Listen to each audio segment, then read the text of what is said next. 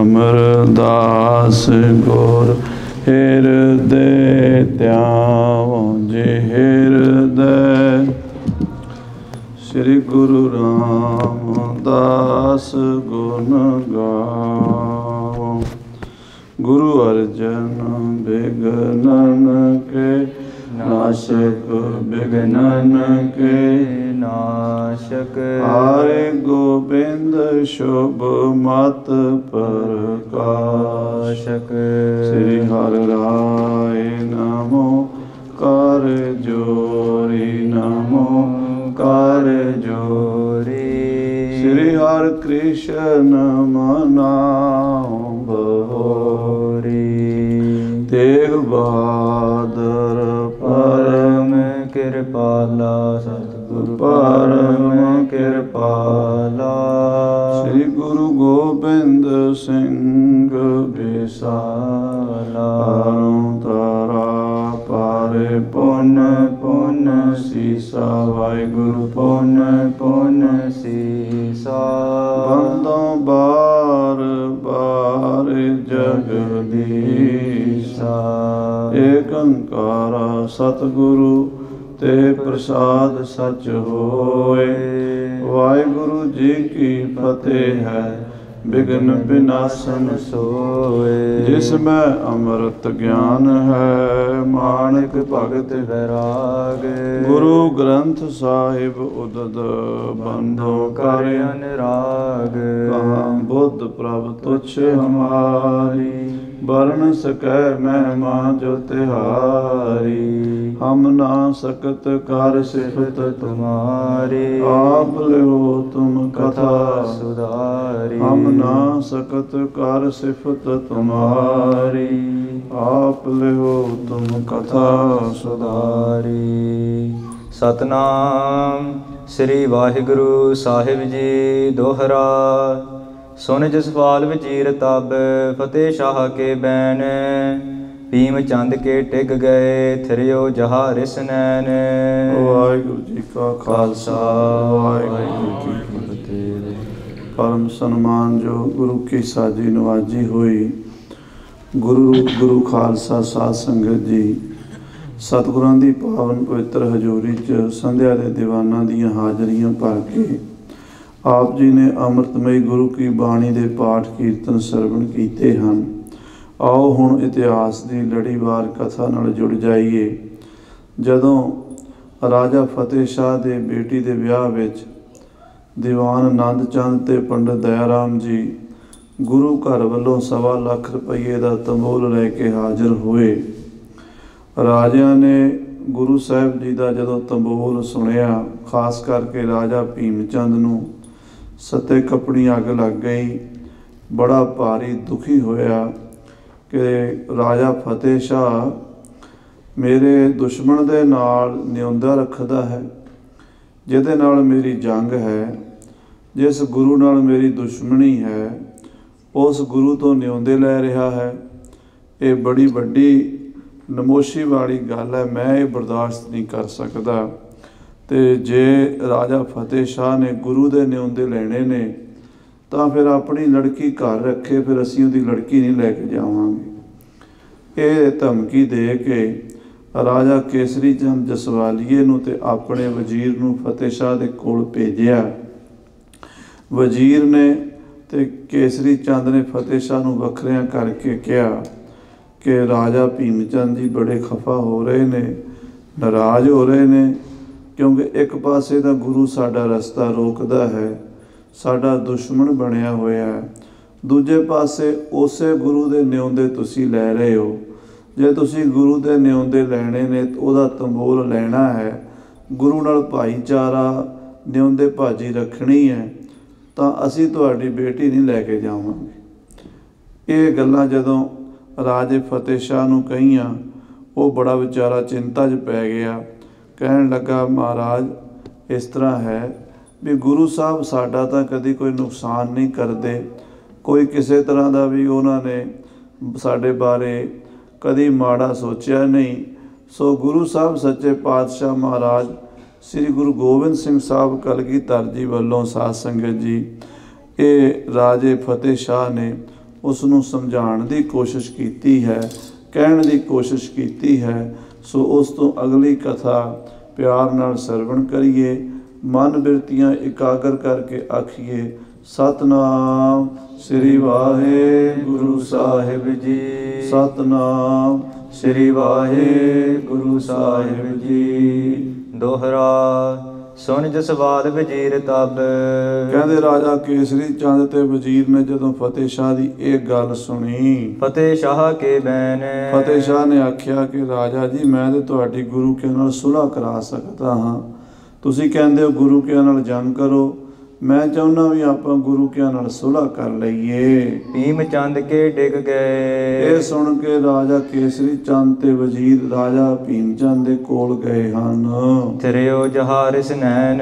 ਜਿੱਥੇ ਰਾਜਾ ਭੀਮ ਚੰਦ ਗੁੱਸੇ ਵਿੱਚ ਬੈਠਾ ਹੋਇਆ ਸੀ। ਚੋਪਈ ਤਰਕਤ ਵਾਕ ਕਹਿਓ ਜਸਵਾਲ ਕਹਿੰਦੇ ਰਾਜੇ ਕੇਸਰੀ ਚੰਦ ਨੇ ਤੇ ਭੀ ਵਜ਼ੀਰ ਨੇ ਜਾ ਕੇ ਜੋ ਭੀਮ ਚੰਦ ਨੂੰ ਦੱਸਿਆ ਖਾਸ ਕਰਕੇ ਕੇਸਰੀ ਚੰਦ ਬਲਦੀ 'ਚ ਤੇਲ ਪਾਉਣ ਵਾਲਾ ਸੀ ਇਦਾਂ ਤਰਕ ਕਰਕੇ ਬੋਲਿਆ ਤਬ ਸਮਝੀ ਕੋ ਰਸ ਗੁਰ ਨਾਲ। ਕਹਿਣ ਲੱਗਾ ਰਾਜਾ ਭੀਮ ਚੰਦ ਜੀ ਤੁਸੀਂ ਫਤਿਹ ਸ਼ਾਹ ਤੋਂ ਕੀ ਆਸਾਂ ਲਾਈ ਬੈਠੇ ਹੋ? ਰਾਜਾ ਫਤਿਹ ਸ਼ਾਹ ਤੇਰਾ ਕੁੜਮ ਤੇ ਗੁਰੂ ਦਾ ਪੱਕਾ ਮਿੱਤਰ ਹੈ। ਉਹਦਾ ਗੁਰੂ ਨਾਲ ਦੋਸਤੀ ਰੱਖਦਾ ਹੈ ਪ੍ਰੇਮ ਰੱਖਦਾ ਹੈ। ਉਲਟੋ ਤੁਮਕੋ ਚਹਿ ਮਿਲਾਇਓ। ਤੁਸੀਂ ਚਾਹੁੰਦੇ ਹੋ ਵੀ ਰਾਜਾ ਫਤਿਹ ਸ਼ਾਹ ਗੁਰੂ ਨਾਲ ਲੜੇ ਗੁਰੂ ਦਾ ਮੁਕਾਬਲਾ ਕਰੇ ਗੁਰੂ ਨਾਲ ਜੰਗ ਕਰੇ ਤੇ ਰਾਜਾ ਫਤਿਹ ਸ਼ਾਹ ਚਾਹੁੰਦਾ ਵੀ ਤੁਹਾਡੀ ਗੁਰੂ ਨਾਲ ਸੁਲ੍ਹਾ ਹੋਵੇ। ਉਹ ਕੁਝ ਚਾਹੁੰਦਾ ਤੁਸੀਂ ਕੁਝ ਚਾਹੁੰਦੇ ਹੋ ਤੁਹਾਡਾ ਤੇ ਤੁਹਾਡੇ ਕੁੜਮ ਦਾ ਵਿਚਾਰ ਨਹੀਂ ਰਲਦਾ। ਲਖੀਤ ਗੁਰ ਕਰਾਹਾ ਕੁਛ ਖਾਇਓ। ਲੱਗਦਾ ਰਾਜਾ ਫਤਿਹ ਸ਼ਾਹ ਨੇ ਗੁਰੂ ਦਾ ਕੜਾ ਜ਼ਿਆਦਾ ਖਾ ਲਿਆ ਹੈ। ਇਸ ਕਰਕੇ ਉਹ ਗੁਰੂ ਦਾ ਖੈਰ ਖਾ ਬਣਿਆ ਹੋਇਆ ਹੈ। ਕਰਾਮਾਤ ਸਾਹਿਬ ਪ੍ਰਭ ਜਾਣੈ। ਰਾਜਾ ਫਤਿਹ ਸ਼ਾਹ ਗੁਰੂ ਗੋਬਿੰਦ ਸਿੰਘ ਨੂੰ ਬੜਾ ਮਹਾਨ ਸਮਝਦਾ ਹੈ। ਰਾਜਾ ਫਤਿਹ ਸ਼ਾਹ ਗੁਰੂ ਨੂੰ ਕਰਾਮਾਤਾਂ ਦਾ ਸ਼ਕਤੀਆਂ ਦਾ ਮਾਲਕ ਸਮਝਦਾ ਹੈ। ਤਿਨ ਸਨ ਦਵੈਸ਼ ਨਹੀਂ ਕਿਮ ਠਾਨੈ। ਔਰ ਗੁਰੂ ਦੇ ਨਾਲ ਉਹ ਵੈਰ ਨਹੀਂ ਕਰਨਾ ਚਾਹੁੰਦਾ। ਦੁਸ਼ਮਣੀ ਨਹੀਂ ਕਰਨੀ ਚਾਹੁੰਦਾ। ਜਥਾ ਬਨਿਓ ਗੁਰਮ ਸਿੱਖ ਬਿਸਾਲਾ ਜਿਵੇਂ ਰਾਜਾ ਫਤਿਹ ਸ਼ਾਹ ਬੋਲਦਾ ਹੈ ਉਸ ਤੋਂ ਇੰਜ ਲੱਗਦਾ ਵੀ ਰਾਜਾ ਫਤਿਹ ਸ਼ਾਹ ਵੀ ਦਿਲੋਂ ਤਨੋਂ ਮਨੋਂ ਗੁਰੂ ਦਾ ਸਿੱਖ ਬਣ ਚੁੱਕਾ ਹੈ। ਤਿਮ ਬੋਲਤ ਹਮ ਸੋ ਇਸ ਕਾਲਾ। ਅਸੀਂ ਉਹਦੀਆਂ ਗੱਲਾਂ ਤੋਂ ਇਹ ਅੰਦਾਜ਼ਾ ਲਾਇਆ ਵੀ ਉਹ ਤਾਂ ਗੁਰੂ ਦਾ ਪੱਕਾ ਮੁਰੀਦ ਬਣਿਆ ਹੋਇਆ। ਉਹ ਗੁਰੂ ਨਾਲ ਨਹੀਂ ਲੜੇਗਾ। ਇਸ ਕਰਕੇ ਆਪਾਂ ਉਹਦੀ ਲੜਕੀ ਛੱਡ ਕੇ ਚਲੇ ਜਾਈਏ। ਰਾਵਰ ਕ੍ਰੋਧ ਨਾ ਜਾਣਿਓ ਕਨੇ। ਤੁਹਾਡੇ ਗੁੱਸੇ ਨੂੰ ਉਹਨੇ ਕੁਝ ਨਹੀਂ ਸਮਝਿਆ। ਤੁਸੀਂ ਤਾਂ ਨਾਰਾਜ਼ ਹੋ ਤੇ ਇਹ ਗੱਲ ਅਸੀਂ ਜਾ ਕੇ ਉਹਨੂੰ ਦੱਸੀ ਵੀ ਹੈ ਪਰ ਉਹ ਇਸ ਗੱਲ ਦੇ ਉੱਤੇ ਉਹਨੇ ਬਹੁਤੀ ਚਿੰਤਾ ਨਹੀਂ ਕੀਤੀ। ਫਿਰਿਓ ਨਾ ਗੁਰ ਤੇ ਰਸ ਉਰਸਨੇ ਉਹਦਾ ਗੁਰੂ ਨਾਲ ਪਿਆਰ ਹੈ ਗੁਰੂ ਨਾਲ ਉਹਦੀ ਸ਼ਰਧਾ ਹੈ ਇਸ ਕਰਕੇ ਉਹ ਸਾਡੀਆਂ ਗੱਲਾਂ ਤੋਂ ਪ੍ਰਭਾਵਿਤ ਨਹੀਂ ਹੋਇਆ। ਰਾਜਾ ਫਤਿਹ ਸ਼ਾਹ ਗੁਰੂ ਨਾਲ ਲੜਨ ਲਈ ਤਿਆਰ ਨਹੀਂ ਹੋਇਆ ਅਜੇ ਤੱਕ। ਜਥਾ ਆਏ ਤੁਮਰੇ ਮਨ ਮਾਹੀ। ਹੁਣ ਅੱਗੇ ਤੁਸੀਂ ਜਾਣੋ ਰਾਜਾ ਭੀਮ ਚੰਦ ਜੀ ਜੋ ਤੁਹਾਡੇ ਮਨ ਵਿੱਚ ਆਉਂਦੀ ਹੈ ਉਹ ਦੱਸੋ। ਅਸੀਂ ਤਾਂ ਉਵੇਂ ਹੀ ਕਰਾਂਗੇ ਜਿਵੇਂ ਹਜੂਰ ਤੁਸੀਂ ਫਰਮਾਓਗੇ। ਕਰੋ ਤਥਾ ਕੋ ਬਰਜਦ ਨਾਹੀ। ਜਿਵੇਂ ਤੁਸੀਂ ਆਖੋਗੇ ਅਸੀਂ ਉਵੇਂ ਹੀ ਕਰਾਂਗੇ। ਤੁਹਾਡਾ ਕਿਹਾ ਅਸੀਂ ਨਹੀਂ ਮੋੜ ਸਕਦੇ। ਸੁਨ ਕਰ ਭੀਮ ਚੰਦ ਰਿਸ ਛਾਈ ਜਦੋਂ ਆਹ ਗੱਲ ਕੇਸਰੀ ਚੰਦ ਨੇ ਬੜੇ ਹੋਰ ਤਰੀਕੇ ਨਾਲ ਅੱਗ ਲਾਵੇਂ ਤਰੀਕੇ ਨਾਲ ਸੁਣ ਕਹੀ ਸੁਣ ਕੇ ਭੀਮ ਚੰਦ ਨੂੰ ਹੋਰ ਗੁੱਸਾ ਚੜ ਗਿਆ। ਅਗਨ ਜਵਲਤ ਆਹੁਤ ਜਨ ਪਾਈ ਇਹ ਕੇਸਰੀ ਚੰਦ ਨੇ ਇਦਾਂ ਗੱਲ ਕੀਤੀ ਜਿਵੇਂ ਕੋਈ ਬਲਦੀ ਅੱਗ ਦੇ ਵਿੱਚ ਘਿਓ ਦਾ ਪੀਪਾ ਪਾ ਦੇਵੇ। ਤੇ ਅੱਗ ਹੋਰ ਭੜਕ ਪੈਂਦੀ ਹੈ ਬਲਦੀ ਅੰਦਰ ਤੇਲ ਦੁਬਦਾ ਕੱਤਿਆ। ਕਹਿੰਦੇ ਬਲਦੀ 'ਚ ਤੇਲ ਪਾ ਦਿੱਤਾ ਕੇਸਰੀ ਚੰਦ ਦੀ ਗੱਲ ਨੇ। ਕਹਿਓ ਦੇਹੋ ਕਰ ਕੂਚ ਨਗਾਰਾ। ਤੇ ਉਸੇ ਵੇਲੇ ਰਾਜਾ ਭੀਮ ਚੰਦ ਗੁੱਸੇ 'ਚ ਆ ਕੇ ਬੋਲਿਆ ਚੱਲੋ ਇੱਥੋਂ ਫਿਰ। ਮਾਰੋ ਨਗਾਰੇ ਤੇ ਜੋਬਾਂ ਕੂਚ ਦਾ ਨਗਾਰਾ ਵਜਾ ਦਿਓ। ਮੈਂ ਨਾ ਕਰੋ ਕਛ ਅੰਗੀਕਾਰਾ। ਕਹਿਣ ਲੱਗਾ ਮੈਂ ਨਹੀਂ ਕੁਝ ਲੈ ਕੇ ਜਾਣਾ। ਨਾ ਮੈਂ ਇਹਨਾਂ ਦੀ ਲੜਕੀ ਲੈ ਕੇ ਜਾਣੀ ਹੈ ਤੇ ਨਾ ਮੈਂ ਕੋਈ ਦਾਜ ਦਹੇਜ ਲੈ ਕੇ ਜਾਣਾ ਹੈ। ਆਨੇ ਥਾਨ ਨਿਜ ਨੰਦਨ ਵਿਆਹੋ। ਮੈਂ ਆਪਣੇ ਮੁੰਡੇ ਅਜਮੇਰ ਚੰਦ ਦਾ ਵਿਆਹ ਕਿਸੇ ਹੋਰ ਥਾਂ ਤੇ ਕਰ ਲਾਂਗਾ। ਫਤਿਹ ਸ਼ਾਹ ਦੀ ਲੜਕੀ ਨੂੰ ਆਪਣੀ ਨੋਹ ਨਹੀਂ ਬਣਾਵਾਂਗਾ। ਇਸ ਕੇ ਦੇਸ਼ ਨ ਆਵਨ ਚਾਹੋ। ਮੈਂ ਇਹਦੇ ਦੇਸ਼ 'ਚ ਮੁੜ ਕੇ ਨਹੀਂ ਆਉਣਾ। ਮੈਂ ਇਸ ਤੋਂ ਕੀ ਲੈਣਾ ਜਿਹੜਾ ਮੇਰੇ ਦੁਸ਼ਮਣ ਦਾ ਸਾਥ ਦਿੰਦਾ ਹੈ? ਦੁਸ਼ਮਣ ਦਾ ਸਾਥੀ ਦੁਸ਼ਮਣ ਹੀ ਹੁੰਦਾ ਹੈ। ਅਸ ਦਸ਼ ਦੁਸ਼ਮਨ ਮੇਰੋ ਦੁਖਦਾਈ ਗੁਰੂ ਗੋਬਿੰਦ ਸਿੰਘ ਮੇਰਾ ਪੱਕਾ ਦੁਸ਼ਮਣ ਹੈ। ਮੈਨੂੰ ਦੁੱਖ ਦਿੱਤਾ ਉਸਨੇ। ਉਸ ਗੁਰੂ ਨੇ ਮੇਰਾ ਰਸਤਾ ਰੋਕਿਆ ਹੈ। ਤਿਨ ਕੇ ਸੰਗ ਪ੍ਰੀਤ ਉਪਜਾਈ। ਤੇ ਉਸ ਗੁਰੂ ਨਾਲ ਮੇਰੇ ਦੁਸ਼ਮਣ ਨਾਲ ਰਾਜਾ ਫਤਿਹ ਸ਼ਾਹ ਪ੍ਰੀਤੀ ਪਾਈ ਬੈਠਾ ਹੈ। ਜਿਮ ਗੁਰ ਛਤਰ ਤਥਾ ਇਹ ਮੇਰੋ। ਜਿਵੇਂ ਗੁਰੂ ਮੇਰਾ ਸ਼ਤਰੂ ਹੈ ਇਵੇਂ ਰਾਜਾ ਫਤਿਹ ਸ਼ਾਹ ਵੀ ਅੱਜ ਤੋਂ ਮੇਰਾ ਦੁਸ਼ਮਣ ਹੈ। ਲਰੋ ਦੋਹਨ ਸੋ ਪਰਿਓ ਬਖੇਰੋ। ਲੱਗਦਾ ਮੈਨੂੰ ਦੋਵਾਂ ਨਾਲ ਦੋ ਦੋ ਹੱਥ ਕਰਨੇ ਪੈਣੇ। ਗੁਰੂ ਨਾਲ ਵੀ ਲੜਾਂਗਾ ਤੇ ਮੈਂ ਰਾਜੇ ਫਤਿਹ ਸ਼ਾਹ ਨੂੰ ਵੀ ਵੇਖਾਂਗਾ। ਇਮ ਕਰ ਕਰ ਮਾਨਵ ਪਠ ਦੀਨੋ। ਇਸ ਤਰ੍ਹਾਂ ਕਹਿ ਕੇ ਰਾਜੇ ਭੀਮ ਚੰਦ ਨੇ ਫਿਰ ਬੰਦੇ ਭੇਜ ਦਿੱਤੇ। ਕਾਰਨ ਕੂਚ ਨਗਾਰਾ ਕੀਨੋ। ਆਪਣੀ ਫੌਜ ਨੂੰ ਕਹਿਤਾ ਵੀ ਕੂਚ ਦਾ ਨਗਾਰਾ ਵਜਾਓ ਆਪਾਂ ਇੱਥੋਂ ਚੱਲੀਏ। ਤਤ ਛਿਨ ਜੀਨ ਹੈ ਨ ਪਰ ਡਾਲੇ। ਜਦੋਂ ਨਗਾਰਾ ਵੱਜਿਆ ਕੂਚ ਦਾ ਉਸੇ ਵੇਲੇ ਘੋੜਿਆਂ ਤੇ ਕਾਠੀਆਂ ਪੈ ਗਈਆਂ। ਕਰੀ ਸ਼ਿੰਗਾਰਨ ਕੀਨ ਉਤਾਲੇ। ਆਪਣੇ ਹਾਥੀ ਘੋੜੇ ਸ਼ਿੰਗਾਰ ਲਏ ਜਿਹੜੀ ਬਰਾਤ ਸਜ ਧਜ ਕੇ ਆਈ ਸੀ ਡੋਲੀ ਲਏ ਤੋਂ ਬਿਨਾਂ ਹੀ ਵਾਪਸ ਜਾਣ ਨੂੰ ਤਿਆਰ ਹੋ ਪਈ। ਇਮ ਜਬ ਤਿਆਰ ਅਰੂਡਨ ਭਇਓ। ਜਦੋਂ ਇਸ ਤਰ੍ਹਾਂ ਭੀਮ ਚੰਦ ਆਪਣੇ ਸਾਥੀ ਰਾਜਿਆਂ ਦੀ ਫੌਜ ਨੂੰ ਲੈ ਕੇ ਵਾਪਸ ਚੱਲਿਆ। ਫਤਿਹ ਸ਼ਾਹ ਕੇ ਨਰ ਸੁਨ ਲਿਓ। ਇਸ ਗੱਲ ਦਾ ਪਤਾ ਰਾਜੇ ਫਤਿਹ ਸ਼ਾਹ ਦੇ ਬੰਦਿਆਂ ਨੂੰ ਲੱਗਾ। ਉਹਨਾਂ ਨੇ ਵੇਖਿਆ ਵੀ ਇਹ ਕੀ ਹੋ ਰਿਹਾ ਹੈ। ਇਹ ਸਾਡੇ ਘਰ ਬਰਾਤੀ ਆਏ ਨੇ। ਅਜੇ 2-4 ਦਿਨ ਇਹਨਾਂ ਨੇ ਰਹਿਣਾ ਤਾਂ ਇਹ ਹੁਣੇ ਘੋੜਿਆਂ ਦੇ ਕਾਠੀਆਂ ਪਾ ਕੇ ਕਿੱਧਰ ਚੱਲੇ ਨੇ? ਉਹਨਾਂ ਨੇ ਫਿਰ ਸਾਰਾ ਮਾਜਰਾ ਜਾਣ ਲਿਆ। ਮੰਤਰੀ ਆਦ ਉਤਾਇਲ ਤਾਏ ਰਾਜੇ ਫਤਿਹ ਸ਼ਾਹ ਦੇ ਮੰਤਰੀ ਵਜ਼ੀਰ ਸਾਰੇ ਛੇਤੀ ਨਾਲ ਦੌੜੇ ਹਨ। ਨਿਜ ਰਾਜੇ ਕਨਵਾ ਕੇ ਅਲਾਏ। ਔਰ ਜਾ ਕੇ ਆਪਣੇ ਰਾਜੇ ਫਤਿਹ ਸ਼ਾਹ ਨੂੰ ਦੱਸਿਆ ਕਿ ਰਾਜਾ ਜੀ ਬੜਾ ਕੰਮ ਗਲਤ ਹੋ ਚੱਲਿਆ। ਤੁਹਾਡਾ ਕੁੜਮ ਭੀਮ ਚੰਦ ਡੋਲੀ ਛੱਡ ਕੇ ਬਰਾਤ ਵਾਪਸ ਲੈ ਚੱਲਿਆ ਹੈ। ਟੂਟਨ ਸਮਦੀ ਸਾਥ ਤੁਮਾਰੋ। ਤੁਹਾਡਾ ਤੇ ਤੁਹਾਡੇ ਕੁੜਮ ਦਾ ਆਪਸ ਵਿੱਚ ਪਿਆਰ ਖਤਮ ਹੋ ਗਿਆ। ਇਹ ਲੱਗਦਾ ਦੋਵਾਂ ਦੀ ਰਿਸ਼ਤੇਦਾਰੀ ਟੁੱਟ ਚੱਲੀ ਹੈ। ਕਿਮ ਬਨ ਆਵਹਿ ਕਿਉ ਨਾ ਵਿਚਾਰੋ। ਹੁਣ ਦੱਸੋ ਜੇ ਤੁਸੀਂ ਕੁੜਮਾਂ ਨਾਲੋਂ ਤੋੜੋਗੇ ਤੇ ਗੁਜ਼ਾਰਾ ਕਿਵੇਂ ਹੋਵੇਗਾ? ਕੁੜਮਾਂ ਨਾਲ ਕਿਸੇ ਤਰ੍ਹਾਂ ਵੀ ਨਹੀਂ ਵਿਗਾੜੀ ਜਾ ਸਕਦੀ। ਗੁਰ ਸੋ ਮੇਲ ਕਰਨ ਹੈ ਕਹਾ। ਆਪਾਂ ਗੁਰੂ ਨਾਲ ਮੇਲ ਕਰਕੇ ਕੀ ਲੈਣਾ? ਆਪਾਂ ਗੁਰੂ ਪਿੱਛੇ ਆਪਣੇ ਕੁੜਮ ਨਾਲ ਕਿਉਂ ਵਿਗਾੜੀਏ? ਦਿਨ ਕੇਤਕ ਤੇ ਥਿਰ ਪੇ ਇਹਾ। ਕਿਉਂਕਿ ਗੁਰੂ ਤਾਂ ਅਜੇ ਥੋੜਾ ਜਿਹਾ ਸਮਾਂ ਹੋਇਆ ਸਾਡੇ ਇਲਾਕੇ ਵਿੱਚ ਆਏ ਪੌਂਟੇ 'ਚ ਬੈਠਾ ਹੈ। ਤੇ ਉਸ ਗੁਰੂ ਨਾਲ ਆਪਾਂ ਠੀਕ ਹੈ ਵੀ ਆਪਣਾ ਪਿਆਰ ਬਣ ਗਿਆ ਪਰ ਅਜੇ ਨਵਾਂ ਨਵਾਂ ਪਿਆਰ ਹੈ। ਤੇ ਰਾਜੇ ਭੀਮ ਚੰਦ ਨਾਲ ਇੱਕ ਤਾਂ ਸਾਡਾ ਬਰਾਦਰੀ ਭਾਈਚਾਰਾ ਹੈ ਇਹ ਵੀ ਰਾਜਾ ਅਸੀਂ ਵੀ ਰਾਜੇ ਹਾਂ। ਦੂਸਰਾ ਫਿਰ ਸਾਡਾ ਹੁਣ ਰਿਸ਼ਤਾ ਬੜਾ ਡੂੰਘਾ ਗੂੜਾ ਰਿਸ਼ਤਾ ਹੈ ਕੁੜਮਾ ਸਾਕੀ। ਸਾਡੀ ਲੜਕੀ ਉਹਨਾਂ ਦੇ ਘਰ ਵਿਆਹ ਕੇ ਜਾ ਰਹੀ ਹੈ। ਜੇ ਡੋਲੀ ਛੱਡ ਗਿਆ ਆਪਣੀ ਲੜਕੀ ਸਾਰੀ ਉਮਰ ਬੂਹੇ ਤੇ ਬੈਠੀ ਰਹੇਗੀ। ਇਸ ਨੂੰ ਆਪਾਂ ਕਿਤੇ ਹੋਰ ਵਿਆਹ ਨਹੀਂ ਸਕਾਂਗੇ। ਚਲਿਓ ਛੋਰ ਤਬ ਤਨ ਜਾ ਡੋਰਾ। ਸਭ ਤੋਂ ਵੱਡਾ ਘਾਟਾ ਜਿਹੜਾ ਫਤਿਹ ਸ਼ਾਹ ਜੀ ਉਹ ਲੜਕੀ ਨੂੰ ਛੱਡ ਕੇ ਜਾਣਦਾ ਹੈ। ਇਹ ਸਾਡੀ ਨੱਕ ਵੱਢੀ ਜਾਣੀ ਹੈ ਔਰ ਆਉਣ ਵਾਲੀਆਂ ਪੀੜ੍ਹੀਆਂ ਤੱਕ ਵੀ ਇਹ ਚਰਚਾ ਸਾਡੇ ਪਹਾੜਾਂ ਵਿੱਚ ਚੱਲੇਗੀ। ਕਿ ਰਾਜੇ ਫਤਿਹ ਸ਼ਾਹ ਦੀ ਲੜਕੀ ਦਾ ਭੀਮ ਚੰਦ ਡੋਲਾ ਛੱਡ ਕੇ ਚਲਾ ਗਿਆ ਸੀ। ਇਹ ਅਪਜਸ ਪਸਰੈ ਚਹ ਓਰਾ। ਇਹ ਗੱਲ ਸਾਰੇ ਪਾਸੇ ਤੁਹਾਡੀ ਨਿੰਦਾ ਦਾ ਕਾਰਨ ਬਣੇਗੀ ਅਪਜਸ ਦਾ ਕਾਰਨ ਬਣੇਗੀ। ਨਿਜ ਸਮਦੀ ਕੇ ਬਨ ਅਨੁਸਾਰੀ। ਇਸ ਕਰਕੇ ਸਾਡੀ ਬੇਨਤੀ ਮੰਨੋ ਹੁਣ ਤੁਸੀਂ ਗੁਰੂ ਦਾ ਸਾਥ ਛੱਡੋ ਤੇ ਆਪਣੇ ਕੁੜਮ ਦੇ ਨਾਲ ਰਲੋ। ਆਪਣੇ ਕੁੜਮ ਦੇ ਅਨੁਸਾਰ ਚੱਲੋ ਜਿਵੇਂ ਕਹਿੰਦਾ ਉਵੇਂ ਹੀ ਮੰਨ ਲਓ। ਰਹਿ ਆਹੇ ਜਿਮ ਲਾਜ ਤਿਹਾਰੀ। ਜਿਵੇਂ ਆਪਣੀ ਲਾਜ ਰਹਿ ਆਵੇ ਉਵੇਂ ਹੀ ਬਸ ਕਰ ਲਓ। ਹੁਣ ਹੋਰ ਕੋਈ ਚਾਰਾ ਨਹੀਂ।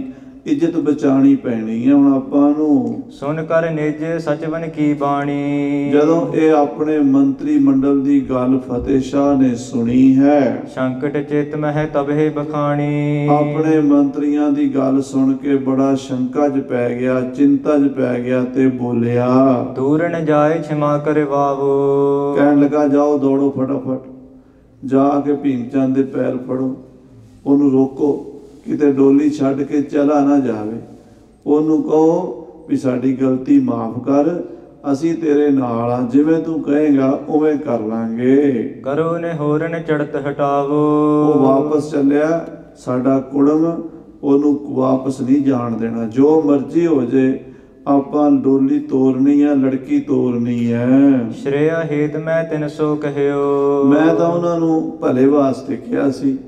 ਬਈ ਗੁਰੂ ਕਿਆ ਨਾਲ ਲੜਾਈ ਕਰਕੇ ਸਾਨੂੰ ਮਿਲਣਾ ਕੁਝ ਨਹੀਂ। ਮੈਂ ਤਾਂ ਇਹ ਕਿਹਾ ਸੀ ਵੀ ਲੜਾਈ ਦਾ ਨਾਂ ਹੀ ਮਾੜਾ ਹੁੰਦਾ ਹੈ ਤੇ ਉਹ ਵੀ ਸਾਧੂ ਸੰਤਾਂ, ਮਹਾਂਪੁਰਸ਼ਾਂ ਨਾਲ। ਸੰਤਨ ਸੇਤੀ ਮਸ਼ਕਰੀ, ਇਹ ਡੂਬਣ ਕੇ ਕਾਮ।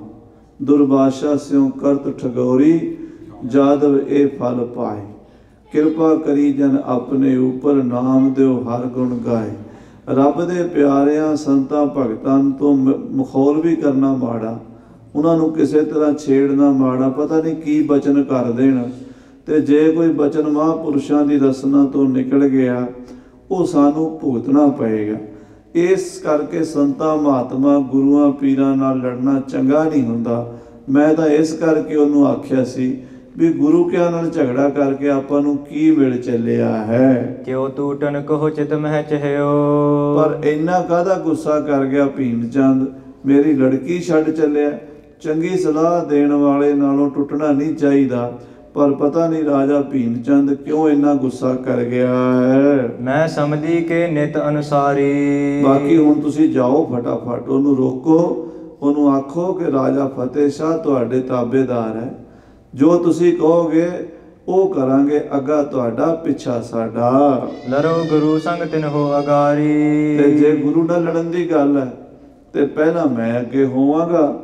ਤੇ ਬਾਕੀ ਤੁਹਾਡੀ ਮਰਜ਼ੀ ਹੈ ਮੈਂ ਤਾਂ ਲੜਾਂਗਾ ਕਿਉਂਕਿ ਮੈਂ ਆਪਣੇ ਕੁੜਮ ਨੂੰ ਖੁਸ਼ ਕਰਨਾ ਹੈ। ਏਤੋ ਕੋਪ ਕਹੋ ਕਿਮ ਕੀਨੋ।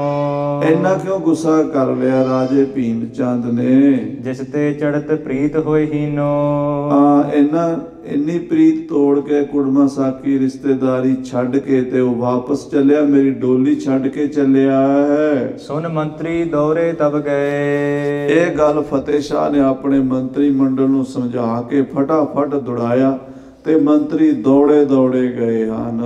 ਹਾਥ ਜੋਰ ਸਭ ਉਚਰਤ ਪਏ। ਸਾਰੇ ਮੰਤਰੀ ਹੱਥ ਜੋੜ ਕੇ ਭੀਮ ਚੰਦ ਦੇ ਅੱਗੇ ਪਿੱਛੇ ਤਰਲੇ ਕੱਢਣ ਲੱਗ ਪਏ ਹਨ। ਸੁਮਤ ਬੰਤ ਤੁਮ ਕਿਉ ਨਾ ਵਿਚਾਰੋ। ਮਹਾਰਾਜ ਤੁਸੀਂ ਸਿਆਣੇ ਹੋ। ਕਿਉਂ ਨਹੀਂ ਵਿਚਾਰ ਕਰਦੇ? ਸਾਡੀ ਬੇਨਤੀ ਵੇਖ ਸੁਣੋ। ਫਤਿਹ ਸ਼ਾਹ ਨਿਰਭਤਵ ਅਨੁਸਾਰੋ। ਸਾਡਾ ਰਾਜਾ ਫਤਿਹ ਸ਼ਾਹ ਤੁਹਾਡੇ ਤਾਬੇਦਾਰ ਹੈ ਤੁਹਾਡੇ ਅਨੁਸਾਰੀ ਹੈ ਅਸੀਂ ਲੜਕੀ ਵਾਲੇ ਆ ਤੁਸੀਂ ਲੜਕੇ ਵਾਲੇ ਹੋ। ਸਾਡਾ ਸਿਰ ਤੁਹਾਡੇ ਸਾਹਮਣੇ ਝੁਕਿਆ ਹੋਇਆ ਹੈ। ਜਿਮਰਨ ਹੋਏ ਨਾ ਤਿਮ ਤਿਨ ਪਾਖੀ। ਆ ਸਾਡੇ ਰਾਜੇ ਨੇ ਤਾਂ ਇਸ ਕਰਕੇ ਆਖਿਆ ਸੀ ਵੀ ਚਲੋ ਲੜਾਈ ਟਲ ਜਾਵੇ। ਲੜਾਈ ਦਾ ਨੁਕਸਾਨ ਹੀ ਹੁੰਦਾ ਹੈ। ਕਦੀ ਲੜਾਈ ਦਾ ਫਾਇਦਾ ਨਹੀਂ ਹੋਇਆ ਕਿਸੇ ਨੂੰ ਵੀ ਫਾਇਦਾ ਨਹੀਂ ਹੋਇਆ। ਨਿਸ਼ਚੈ ਲਰਨ ਜੇ ਤੁਮ ਅਬਲਾਖੀ। ਪਰ ਜੇ ਤੁਸੀਂ ਲੜਨਾ ਹੀ ਚਾਹੁੰਦੇ ਹੋ ਮਹਾਰਾਜ ਤਾਂ ਅਸੀਂ ਪਹਿਲਾਂ ਅੱਗੇ ਹੋ ਕੇ ਲੜਾਂਗੇ। ਤੋ ਸਭ ਆਗੇ ਗੁਰ ਕੇ ਸੰਗ। ਤਾਂ ਬਾਈ ਧਾਰ ਦੇ ਰਾਜਿਆਂ ਦਾ ਸਭ ਤੋਂ ਮੋਹਰੀ ਰਾਜਾ ਫਤਿਹ ਸ਼ਾਹ ਬਣੇਗਾ ਕਿਉਂਕਿ ਰਾਜਾ ਭੀਮ ਚੰਦ ਜੋ ਕਹੇਗਾ ਉਹ ਸਾਡਾ ਰਾਜਾ ਮੰਨੇਗਾ। ਸ਼੍ਰੀ ਨਗਰੇਸ਼ਵਰ ਕਾਲਹਿ ਜੰਗ। ਸ੍ਰੀਨਗਰ ਦਾ ਰਾਜਾ ਫਤਿਹ ਸ਼ਾਹ ਸਭ ਤੋਂ ਅੱਗੇ ਹੋ ਕੇ ਯੁੱਧ ਕਰੇਗਾ।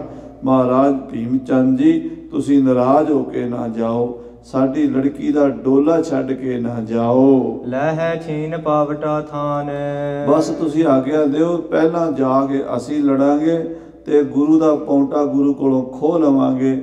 ਜਿਵੇਂ ਆਨੰਦਪੁਰ ਤੋਂ ਗੁਰੂ ਨੂੰ ਕੱਢਿਆ ਹੈ ਅਸੀਂ ਇਥੋਂ ਪੌਂਟੇ ਤੋਂ ਵੀ ਕੱਢ ਦੇਾਂਗੇ ਡੇਰਾ ਲੁੱਟ ਹੈ ਵਸਤ ਮਹਾਨ।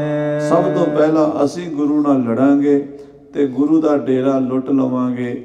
ਜੋ ਵੀ ਗੁਰੂ ਕੋਲ ਹਾਥੀ ਘੋੜੇ ਲਾਓ ਲਸ਼ਕਰ ਖਜ਼ਾਨੇ ਭਰੇ ਪਏ ਨੇ ਉਹ ਸਾਰਾ ਕੁਝ ਅਸੀਂ ਲੁੱਟ ਕੇ ਮਹਾਰਾਜ ਭੀਮ ਚੰਦ ਨੂੰ ਦੇ ਦੇਾਂਗੇ ਥਿਰ ਹੋ ਆਪ ਮਸਲਤ ਮਿਲ ਠਨ ਹੋ। ਆਪ ਰੁਕੋ ਅਜੇ ਇੰਨੇ ਕਾਲੇ ਨਾ ਪਾਓ। ਅੱਜ ਹੁਣੇ ਤੁਸੀਂ ਸਾਡਾ ਇੰਨੀ ਗੱਲ ਸੁਣ ਕੇ ਨਾਰਾਜ਼ ਹੋ ਕੇ ਚੱਲੇ ਹੋ। ਜਰਾ ਰੁਕੋ ਬਹਿ ਕੇ ਜੰਗ ਦੀ ਤਿਆਰੀ ਕਰੀਏ ਸਲਾਹ ਕਰੀਏ। ਸਾਖ ਵਿਸਾਲ ਆਪਨੋ ਜਨ ਹੋ। ਸਾਡਾ ਤੁਹਾਡਾ ਰਿਸ਼ਤਾ ਬੜਾ ਗੂੜਾ ਰਿਸ਼ਤਾ ਹੈ। ਬੜਾ ਵੱਡਾ ਰਿਸ਼ਤਾ ਕੁੜਮਾਚਾਰੀ ਦਾ ਰਿਸ਼ਤਾ ਹੈ। ਐਸੀ ਬਾਤ ਨਾ ਉਚਿਤ ਤੁਹਾਰੇ। ਤੁਹਾਨੂੰ ਇਦਾਂ ਕਰਕੇ ਜਾਣਾ ਠੀਕ ਨਹੀਂ ਹੈ ਉਚਿਤ ਨਹੀਂ ਹੈ ਯੋਗ ਨਹੀਂ ਹੈ ਤੁਹਾਡੇ ਵਾਸਤੇ। ਹਸਹਿ ਲੋਕ ਅਪਵਾਦ ਉਚਾਰੇ। ਜੇ ਤੁਸੀਂ ਇਦਾਂ ਜਾਓਗੇ ਤਾਂ ਲੋਕ ਹੱਸਣਗੇ ਸਾਡੀ ਵੀ ਨਿੰਦਾ ਹੋਵੇਗੀ ਤੁਹਾਡੀ ਵੀ ਬਦਨਾਮੀ ਹੋਵੇਗੀ। ਭਾਈਚਾਰੇ ਦੇ ਵਿੱਚ ਖਾਸ ਕਰਕੇ ਪਹਾੜ ਦੀਆਂ 22 ਧਾਰਾਂ ਵਿੱਚ ਸਾਡੀ ਨਿੰਦਾ ਹੋਵੇਗੀ। ਭੀਮ ਚੰਦ ਸੁਨ ਤਬਹਿ ਉਚਾਰੀ ਇਹ ਸੁਣ ਕੇ ਮੰਤਰੀ ਮੰਡਲ ਤੋਂ ਫਤਿਹ ਸ਼ਾਹ ਦੇ ਮੰਤਰੀਆਂ ਤੋਂ ਇਹ ਗੱਲ ਸੁਣ ਕੇ ਰਾਜਾ ਭੀਮ ਚੰਦ ਬੋਲਿਆ ਗੁਰ ਸਨ ਲਰਹਿ ਜੇ ਹਮ ਹੋ ਅਗਾਰੀ। ਕਹਿਣ ਲੱਗਾ ਦੇਖੋ ਜੇ ਤੇ ਰਾਜਾ ਫਤਿਹ ਸ਼ਾਹ ਅੱਗੇ ਹੋ ਕੇ ਗੁਰੂ ਨਾਲ ਲੜੇਗਾ ਤਬ ਪ੍ਰਤੀਤ ਹਮਰੇ ਉਰ ਆਵੈ। ਤਾਂ ਅਸੀਂ ਉੱਤੇ ਭਰੋਸਾ ਕਰ ਸਕਾਂਗੇ। ਅਸੀਂ ਮੰਨਾਂਗੇ ਵੀ ਰਾਜਾ ਫਤਿਹ ਸ਼ਾਹ ਸਾਡਾ ਮਿੱਤਰ ਹੈ ਸਾਡਾ ਰਿਸ਼ਤੇਦਾਰ ਹੈ ਸਾਡਾ ਭਰਾ ਹੈ। ਮਿਲਬੇ ਕਹੋ ਸਨੇਹ ਉਪਜਾਵੈ। ਤੇ ਜੇ ਉਹ ਸਾਨੂੰ ਗੁਰੂ ਦੇ ਨਾਲ ਮਿਲਣ ਦੀਆਂ ਗੱਲਾਂ ਕਰੇਗਾ ਤੇ ਅਸੀਂ ਕੋਈ ਨਹੀਂ ਮਿਲਣਾ ਤੇ ਫਤਿਹ ਸ਼ਾਹ ਨਾਲੋਂ ਵੀ ਟੁੱਟ ਜਾਵਾਂਗੇ। ਇਮ ਕਹਿ ਪਠੇ ਸਕਲ ਪ੍ਰਦਾਨ। ਇਦਾਂ ਕਹਿ ਕੇ ਸਾਰੇ ਮੰਤਰੀ ਵਾਪਸ ਭੇਜ ਦਿੱਤੇ। ਆਏ ਫਤਿਹ ਸ਼ਾਹ ਜਿਸ ਥਾਨ। ਉਹ ਮੰਤਰੀ ਸਾਰੇ ਫਤਿਹ ਸ਼ਾਹ ਦੇ ਕੋਲ ਆ ਗਏ। ਬੈਠੇ ਬਹੁਤ ਬਾਰ ਸਮਝਾਇਓ। ਉਹਨਾਂ ਮੰਤਰੀਆਂ ਨੇ ਫਤਿਹ ਸ਼ਾਹ ਨੂੰ ਬਾਰ-ਬਾਰ ਸਮਝਾਇਆ। ਗੁਰ ਸਨ ਦਰਪੋ ਮਤ ਠਹਿਰਾਇਓ। ਕਿ ਮਹਾਰਾਜ ਹੁਣ ਤਾਂ ਤੁਹਾਨੂੰ ਲੜਨਾ ਹੀ ਪੈਣਾ ਗੁਰੂ ਨਾਲ।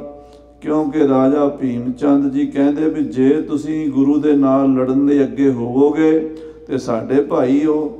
ਜੇ ਸਾਡੇ ਗੁਰੂ ਨਾਲ ਰਲ ਕੇ ਗੁਰੂ ਨਾਲ ਜੰਗ ਨਹੀਂ ਕਰਨਾ ਫਿਰ ਤੁਹਾਡਾ ਰਸਤਾ ਵੱਖਰਾ ਸਾਡਾ ਰਸਤਾ ਵੱਖਰਾ। ਤੁਸੀਂ ਆਪਣੀ ਲੜਕੀ ਆਪਣੇ ਘਰ ਰੱਖੋ ਅਸੀਂ ਵਾਪਸ ਡੋਲੀ ਛੱਡ ਕੇ ਚਲੇ ਜਾਵਾਂਗੇ। ਆਪਸ ਮਹਿ ਸਮਦੀ ਮਿਲ ਬਾਤਨ। ਕਹਿੰਦੇ ਸਾਰੇ ਰਿਸ਼ਤੇਦਾਰ ਸਾਰੇ ਸੰਧੀ ਇਕੱਠੇ ਹੋ ਕੇ ਬੈਠ ਗਏ। ਭਏ ਹਰਖ ਕਰ ਹੈ ਪੁਨ ਘਾਤਨ। ਕਹਿੰਦੇ ਹੁਣ ਬਹਿ ਕੇ ਕੁੜਮ ਸਾਰੇ ਸਲਾਹਾਂ ਕਰਦੇ ਹਨ। ਕਿ ਕਿਸ ਤਰ੍ਹਾਂ ਗੁਰੂ ਨਾਲ ਲੜੀਏ ਦਾਓ ਘਾਓ ਵਿਚਾਰਦੇ ਹਨ। ਅਬ ਤੋ ਵਿਆਹ ਪ੍ਰਸੰਗ ਨ ਬੇਰੋ। ਆਪਸ ਵਿੱਚ ਬਹਿ ਕੇ ਰਾਜਾ ਫਤਿਹ ਸ਼ਾਹ ਭੀਮ ਚੰਦ ਗੋਪਾਲ ਚੰਦ ਕੇਸਰੀ ਚੰਦ ਹਰੀ ਚੰਦ ਇਹ ਸਾਰੇ ਰਾਜੇ ਕਹਿੰਦੇ ਹੁਣ ਤਾਂ ਵਿਆਹ ਦਾ ਕੰਮ ਨਿਬੇੜ ਲਈਏ। ਪਾਛੈ ਪਰ ਹੈ ਜੰਗ ਬਖੇਰੋ। ਬਸ ਵਿਆਹ ਦਾ ਕੰਮ ਇੱਕ ਦੋ ਦਿਨ ਦਾ ਹੀ ਰਹਿ ਗਿਆ। ਇਹ ਨਿਬੜੇ ਡੋਲੀ ਲੈ ਕੇ ਆਪਾਂ ਡੋਲੀ ਤਾਂ ਤੋਰ ਦਿਆਂਗੇ ਵਾਪਸ ਜਾਏਗੀ ਆਪਣੇ ਘਰ ਨੂੰ।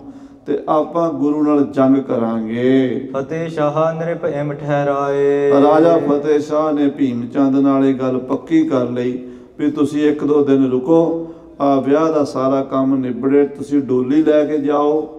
ਤੇ ਮੈਂ ਜੰਗ ਕਰਾਂਗਾ ਗੁਰੂ ਦੇ ਨਾਲ।